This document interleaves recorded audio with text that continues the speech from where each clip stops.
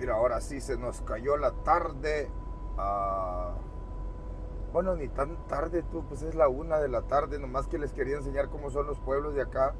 Mira, fíjate ese pueblillo de ahí, cómo tiene todo ese montón de graneros para guardar todo lo que viene siendo. Mira, es que lo, que pasa es que acá en el norte, pues haz de cuenta que en la en el verano, ahorita, cosechan todo. Mira, todo eso verde que ves ahí son matas de, de maíz. Acá los güeros siembran maíz. Mira, todo eso verde que ves ahí, todo es puro maíz, puro maíz, puro maíz. Mira, son maizales. Todo el cerro llenan y retacan de puro maíz porque ellos guardan el maíz. Oh, pues tu máquina. Mira, esa casa que perrona, mira. Del, han hecho del cerro, del monte, mira, ¿sí ves? O sea, del, de, lo, de lo que viene del cerro le han hecho al rato. Oye, les voy a hacer un video otra vez que venga por este lado, pero con la con la Insta para, para poderles enseñar el ángulo. Ahorita no puedo porque les hice el video así a la carrera con el teléfono y nada más saqué el teléfono para hacerles el video y contarles. Mira, ese verde que ves de ese lado es puro este frijol. Mira, ¿ves? De donde sacan el aceite, que sacan el aceite de frijol de soja, le llaman o algo así. El de soybean. Ah, y lo hacen para freír cosas. Mira, los restaurantes, por ejemplo. Nosotros cuando hacemos delivery a restaurantes, pues casi la mayoría del, del aceite que vendemos es de este tipo de aceite, de lo que venden acá, de lo que sacan de ese tipo de frijol. Y por eso, mira, la otra es que este teléfono no le puedo dar vuelta a la cámara, si es que todos van a ir viendo solamente el puro paisaje, porque no le puedo dar vuelta debido a de que es un iPhone y solamente el Samsung tiene eso en la cámara que le puedes dar vuelta. Puedo grabar con la otra aplicación porque tengo una aplicación que pagué para grabar, pero se mueve tanto que vibra mucho y la cámara del, iPhone no vibra tanto así. O sea, tiene este modo de que no va a vibrar tanto cuando voy haciendo el video. Entonces por eso es que se mira así de perroncísimo y tú puedes darte cuenta cómo es este paisaje de bonito. Mira aquel rancho que está allá con ese montón de vacas que tienen. Entonces, todo este maíz lo usan para darle de comer al ganado en el invierno, cuando cae nieve. Mira, todos estos lugares se llenan de nieve, pero a lo güey, o sea, nieve por todos lados. Yo te voy a hacer videos cuando caiga nieve.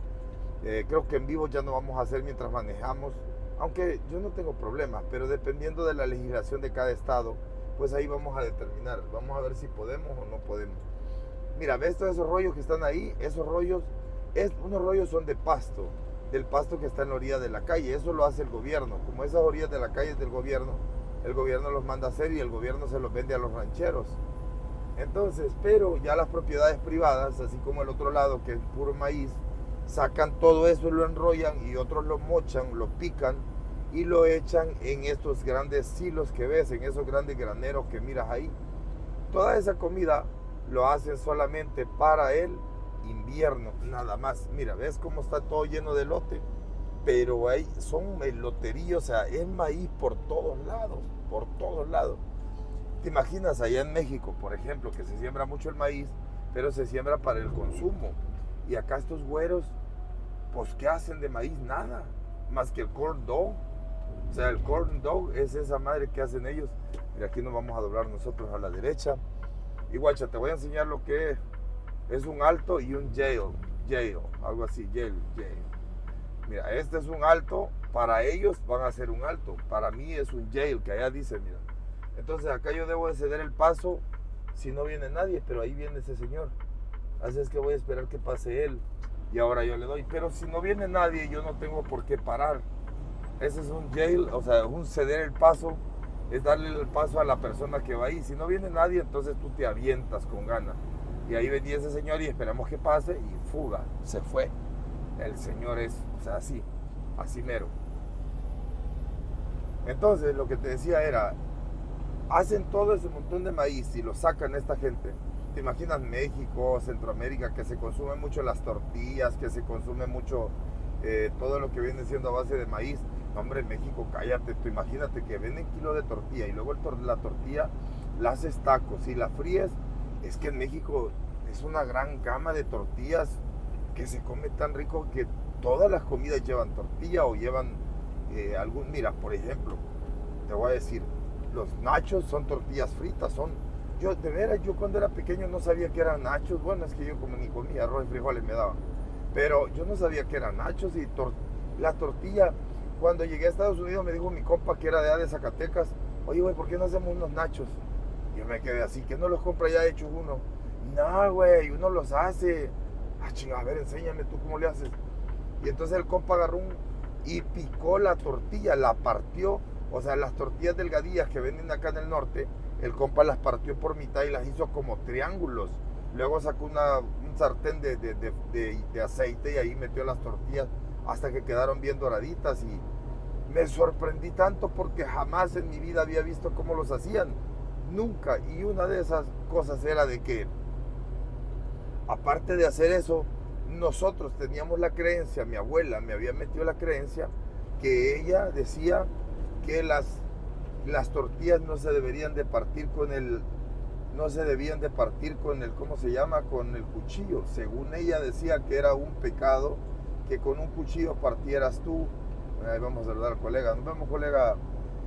Que con un cuchillo partieras tú las tortillas. Era, decía ella que eso no era correcto que Dios había dejado las tortillas para comer y que no podías partirlas con un cuchillo. Y yo me quedaba así, oye, dije yo, ¿qué, qué creencias de mi abuela? Pues, y este camarada saca el cuchillo de cocinar, bum, bum, bum, corte todo y rápido cortó las tortillas, las frió y ya teníamos nacho. Luego el vato hizo, bueno, y ahora le digo yo, no, pues vamos a hacer carne. Hizo carne asada, carne molida, la picó con ajo, tomate, o sea, hizo una carne tan rica, la echó arriba y luego con queso ya teníamos nachos y le puso jalapeño, hasta yo me quedé sorprendido y dije, no, no cállate. Entonces me empezó a gustar toda la comida mexicana y luego eh, para hacer todavía, ¿qué más se hace tú? A ver, digamos, ¿qué más? los tamales, por ejemplo, los tamales mexicanos, que cállate, no, ese es lo más rico del mundo mundial, los tamales mexicanos. ¿Qué más? Las quesadillas. Ah, pero esa es tortilla de harina, tú ese es de harina. Vamos a hablar solamente de las de maíz nombre de maíz, ¿qué más puedes hacer? Aparte de los tacos, riquísimos tacos. Ah, otra vez se me ha arruinado este aire. Vamos a ver ahí. Ah, las flautas. Tienes en México flautas que riquísimas. Cállate con tortilla también. ¿Cuál otra también? Las enchiladas. Haces enchiladas. Que en mi país las enchiladas son diferentes, pero en México son así dobladitas de pollo Mira, aquí en los altos, por ejemplo, es el que llega primero, mira, para que te des una idea. Ese compa, yo voy a llegar primero. Llegamos al mismo tiempo, mira, ¿viste? Ahora yo le cedo el paso a él y le digo que le dé. ¿Ves? Uno de los dos debe ser cortés en dar el paso. Nos vemos, colega del ganado. Mira, puro ganado lleva ahí ese compa. Entonces, ves que cuando llegamos al mismo tiempo, uno de los dos le va a dar el paso para que el otro pueda avanzar. Entonces, mira cuánto maíz. Mira todos esos cerros que vas a ver acá en este video va a ser de puro maíz. Maíz y maíz por todos lados. Pero acá el gringo lo usa para darle de comer a ese ganado. Porque acá se come mucha carne. Mira, fíjate que cuando yo era pequeño, yo a veces miraba los platillos de las comidas de la gente rica, pues. Y yo decía, ¿cómo es posible que la gente rica coma solamente un pedazo de carne? Y eso es todo, y un pedazo de, verdura o algo. Y la tortilla, y la tortilla, decía yo, pues que uno no se llena o qué. Y las tortillas, y así, haz de cuenta que yo me ponía, siempre me ponía preguntándome. Y las, entonces, el con qué, así le llamaba a mi mamá, el con qué. De veras, se me, se me acaba de acordar esa, esa plática que tenía mi madre y me decía, ¿y con qué la vamos a comer? ¿Cómo que con qué? No, pues ¿y el con qué? Vamos a comer tortillas con algo. Si tú comías solamente el con qué sin tortilla, tú comías vacío, así les llamaba.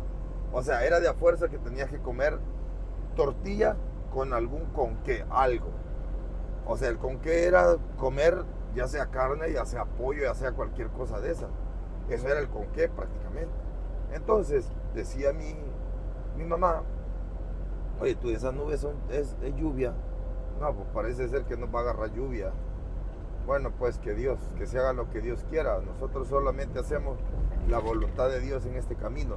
No, no nos oponemos a nada. Entonces, vienes del con qué. ahí bien traes tú el mira qué bonito, mira este, mira el Red Barn, el, el, el ¿cómo se llama eso tú? El Red.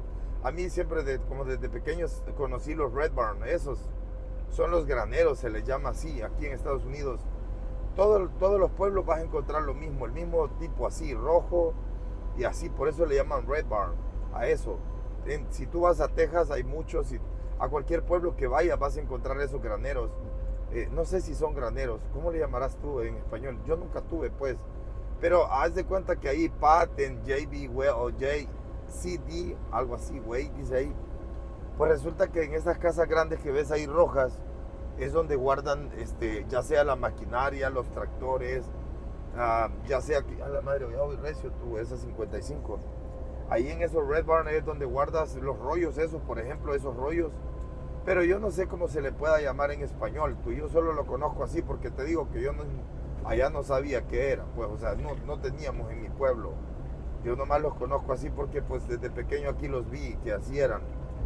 Y cuando iba a Italy, Texas, mis ex suegros ahí tenían un Red Barn y él así le llamaba pues ahí en Texas. Entonces, volviéndote al tema, yo decía, ¿cómo es posible que coman así nomás sin con qué? O sea, no comen con nada, vato, así. Literalmente, solo comen la puro, el puro pedazo de carne. Si acaso le ponen un pedazo de lote o algo, yo me quedaba pensando, ¿qué pez con esta gente? Pues, ¿cómo será ese rollo? Pero así es, ¿sabes que es saludable? Es saludable no comer tortillas, o sea, nosotros es al revés allá. Si no comes tortillas no te llenas, güey. A ver, tengo que comer tortilla porque si no, no me siento bien perrón. Es como, mi comida si no pica, pues no se siente chido. Nada, no hay nada como echarle picocito, no hay nada como, como que, se sienta el picor bonito. Mira, mira esta casa, esa sí es una mansión sota, tú. ¿Te imaginas el dueño de este, de este ranchillo? Mira, guáchalo, guáchalo. Hombre, apenas te digo que debería de hacer una, un video con la, con la Insta para que puedan lograr darle ese ángulo, si ustedes puedan notar esa casona que vimos ahí ahorita apenas. Entonces, mira, vamos llegando al pueblo de Carroll, Iowa. Aquí andamos en este lugar de, de Carroll, Iowa. Es un lugar súper bonito, la verdad. Todos los pueblos son bonitos, todos, todos. Mira, yo como soy de rancho, pues haz de cuenta que aquí me siento en mi mera salsa. Si tú eres de la ciudad, pues te vas a sentir bien perrón allá en la ciudad, donde andes tú. Pero yo aquí en este lado, pues me siento súper perrón porque mira, disfruto el maíz, lo fresco, lo bonito lo lindo de andar en este lado. Deja ver si le arreglamos ahí mero, que se mire bien perrón todo el paisaje. Mira cuánto maíz y cuánto frijol tienen acá a este lado. Entonces guardan ellos todo eso, todo el maíz lo guardan y lo meten en esos eh, red barn o en esos silos grandes que hacen. Ellos le llaman silo a esos eh, cilindros enormes donde guardan todo eso y en el invierno le dan de comer para que el ganado pues imagino que debe estar gordo siempre, porque como te digo, de que ellos solo comen eso, saludablemente te decía, comer solo la carne y no las tortillas, pues es lo mejor, supuestamente los doctores. Pero mira, yo pienso que depende del lugar donde tú estés. Una de las cosas que yo he logrado entender en esta vida es que si tú estás en China y en China comen arroz, pues, pues el metabolismo de ellos está diseñado para comer arroz yo siento que fue como que las personas evolucionaron para comer así. Yo siento que con el tiempo la vida fue llevándote a evolucionar, porque ¿cómo es posible que pues, los chinos allá, todo el mundo es flaco y dices tú, pero come mucho arroz este güey? ¿Cómo es posible que no se engorda? Tú, pues a mí el, arroz me engorda volar luego, luego. La tortilla me engorda luego, luego. si el gringo come mucha tortilla, se va a engordar luego, luego. Y si no come, hay gente que le hace daño comer como comen los gringos. Hay gente que, hay gringos que no les gusta comer como, como por ejemplo una gringuita que yo tuve una vez de novia, pues era mi novia en ese tiempo. Y esa muchacha una vez la llevé a comer los tacos ahí al paisa. Hombre, ahí en Dallas, tú cállate. No, pobre morra, se le aflojó la tuerca, tú, y se le va dando. O sea, no estaba acostumbrada a eso, pero le gustaba. Me dijo, me encantan, están deliciosos. Oh my God, dijo, this is the best food in the world. This is the best, the tacos are oh so amazing. Y así hablaba pues. Y valió madre, pues al rato, no hombre, cállate que ahí me tenías a mí. Al hotel fuimos, pero ya sabes tú, nomás para el baño, ahí corría cada rato para el baño. No pudimos ni, ni hacer nada, pues. Porque nosotros íbamos a platicar, pero pues de tanto platicar no se pudo, pues, porque ahí iba para el baño a cada rato, no se podía. Entonces, pero ves cómo a ciertas personas les hace daño, a otras personas no les hace daño, y así sucesivamente. ¿Me entiendes? Por eso es de que yo a veces me pongo a pensar, mira, como en México, por ejemplo, la raza, toda la, toda la, la cultura mexicana, todo. Si tú llegas a un restaurante mexicano, ¿qué te ponen primero? Nachos. Ahí estás comiéndote los nachos. Al rato le dices, no, pues, este, ¿sabes qué? Este, sírveme un guacamole. Eh, quiero un guacamole. Agarras el guacamole y ¿qué traen las orillas del guacamole? Nacho de tortilla. Y luego miras el menú, ¿no? Pues que eh, tenemos tacos en primer lugar, ya van las tortillas, en segundo lugar ya va, y todo el maíz. Y si mira, tenemos flauta, o oh, ¿cuál es el especial? Las enchiladas de maíz, tortillas de maíz, enchiladas. ¿Qué más tenemos, mi buen, del otro aparte? Entonces ya con solo los tacos ya tienes de de ahí, ya tienes de todo. La quesadilla, no, pero bueno, mira, lo que pasa es que, mira, qué lindo este Redburn aquí, mira, ves lo que te digo, mira. Es, es hermoso. Entonces, pero imagínate de la de las quesadillas. Yo he visto raza que hace quesadillas de pura harina, pues de tortillas de harina. Y de hecho, fíjate que yo no conocía las tortillas de harina. Yo las vine a conocer acá. Cuando conozco a los hondureños me dicen, no, es que así las baleadas son de tortilla de harina con frijoles. ¿Nunca has comido? Yo, no, nunca había comido eso. Y nunca se me había ocurrido ponerle huevo revuelto a una tortilla con frijoles de harina. Jamás, nunca. Porque para nosotros la tortilla de harina era la tortilla del Maseca, o sea, de esa marca de Maseca, esa era la tortilla para la harina nosotros. Porque nosotros lavábamos el maíz, echábamos cal, echábamos el nixtamal, o sea, nosotros las tortillas que nosotros comíamos eran nixtamal. Sacamos el maíz, cocíamos el maíz, después del maíz lo lavábamos bien, lo llevamos al molino. Pero además antes de que no había molino en la colonia, nosotros lo que hacíamos era que con una piedra de moler, teníamos una piedra y mi hermana y mi abuela y eran las que quebraban el maíz a pura piedra y así lo sacaban y así era como hacían la masa y así era como comíamos las primeras tortillas. Por eso yo, yo había comido tortillas de sorgo y había comido tortillas de maíz negrito y había comido tortillas de, de, maicillo, le llamamos nosotros, que es el mismo sorgo, pues. Pero de eso, haz de cuenta que nosotros siempre comíamos la tortilla de harina. Yo no sabía que la harina de hacer pan se hacía tortilla. En mi mente jamás cruzaba ese rollo, güey. O sea, yo no sabía. Hasta que llegué a Estados Unidos y un compa dijo, no, ¿qué es una quesadilla, güey? Y yo, ah, chingado, le dije, pues para mí las quesadillas era un pedazo de pan que es hecho de queso. Dije, no, güey, ¿sabes qué? Es que aquí no venden igual de esas quesadillas que venden allá. Ay, no mames, me dijo. Uy, perdón, oye, a ver si no podemos decir a mala palabra. Me dijo, no, vato, no riegue, no, mira. Sí, si es de harina, tú le puedes poner acá, mira, le puedes poner tortillas de harina y luego le pones, me dijo, este, puro queso, le pones hasta chimol. Nosotros le llamamos chimol al pico de gallo. Y me dijo, no, hombre, ponle pico de gallo, échale de esto, échale el otro. Y, ay, güey, dije, no, hombre, de veras sí quedó. Mira aquí cuando cierran un pedazo de la calle, solo para que te des una idea. Cerraron el pedazo de la calle y ahí puedes ver aquel compa. Mira, te voy a enseñar de cerca el maíz, mira, guacho. Todo ese cerro está lleno, pero cundido de maíz, mira. ¿Ves? Puro maizal y puro maizal. Puro maizal. Y donde quiera que le des, y miras aquí por el espejo, todo ese cerro de ahí atrás, mira. Mira, todo ese cerro de aquí del espejo es igual. Es maicero, maicero, maicillerío por todos lados, mira. Te voy a enseñar aquí por el espejo, mira. Uy, ya se nos puso, vámonos. Ahí está, nomás para que te des una idea tú cómo es. No te vayas a poner en rojo luego, luego tú. Espérame, aguántame, aguántame. No vayas a poner en rojo, espérame que yo llegue. Ahí está, mira, ve cómo cierran un pedazo de la calle. Este calle están construyendo acá. Esto están arreglando. Ese bachecito están arreglando. Más le hacen a la, a la mamá, a la mamá y a la mamá. Pues ya están descansando, güey, está muy caliente. Oye, de veras, hoy está caliente, está como a 100 grados. Está bien que descansen, no hay, no hay falla. Pero para que veas, nomás por ese pedacito cerraron toda la calle. Hicieron como, oh, se nos cayó el micrófono, mi güey. Se nos cayó el micrófono, pero no dejamos de grabar. Bueno, entonces para eso es todo el maíz, mi compa. Nosotros te dije que era el mal que lo hacíamos de esa forma. Ya vamos llegando acá al pueblo donde voy a trabajar, donde voy a descargar. Me toca venir aquí donde este señores a descargarles. Y para terminarte ya este video, mi compa, te digo, esto es lo que es acá en los pueblos de Estados Unidos, en el estado de Iowa, donde siembran más maíz de todos lados y el maíz lo usan para eso que te acabo de decir, con ese fin se utiliza el maíz para uh, guardarlo y no para consumo, así como lo hacen ellos. Por eso esas mazorcas, el otro día que les hacía un video, me dijeron que no eran comestibles y no las podemos, sea, obvio. No sé qué tengan, pero dice que no se pueden comer porque son para guardar para el ganado, todo eso lo guardan.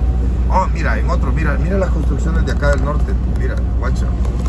Más para que veas las construcciones, cómo están haciendo esa casa. Y esa va a ser casa grandísima, mira. parece casa o parece, no sé, bodega, quién sabe.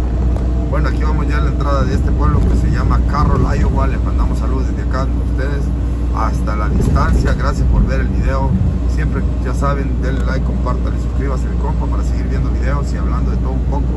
Donde aquí hablamos hoy de lo que viene siendo los pueblos de los güeros. Esto es un pueblo sumamente de güeros. Aquí no vas a ver hispanos más que los que trabajan, los que trabajamos nomás. La gran mayoría es de puros hispanos, digo, la gran mayoría es de puro güero aquí. Pero acá también trabaja el güero. El güero es el que anda recogiendo las carretillas en la, en la, en la Walmart. El mismo güero es el que hace todo, créemelo. Aquí son muy poquitos los hispanos que hay acá, son muy pocos. Hay más gente que entre ellos hacen el trabajo. Pero está muy bonito el pueblito. Así que, compa, ahí lo voy dejando. Cuídense mucho. Yo me meto acá por este lado de aquí, que allá es donde vamos a llegar a descargar a este lugar tan perroncísimo que cuando neva compa, aquí en este estado de Iowa es frío. Fíjate que dicen que Nebraska es frío, pero yo creo que es más frío Iowa. Bueno, no sé, ahí entre los dos se lleva. Mira ese montón, uy, no, allá voy a ir a caer, compa, uy, uy. Pues, eh, nos vemos, gracias por ver, compartan.